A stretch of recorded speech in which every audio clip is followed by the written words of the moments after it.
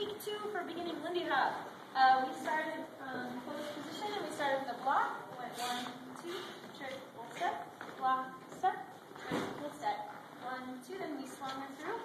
Five, six, triple step. Then we worked on our regular old swing outs from here. We talked a lot about the ladies going with momentum and making it feel to him like you're that you've got to keep on going. We'll show it from one other angle. It goes one, two, three, and four. I roll and step, and then get push back. One, two, three, and four. I roll through until these hands are starting to slow me down and stop me. Five, six, seven. One more, and on the three, four, I'm really going through it more than two. Right.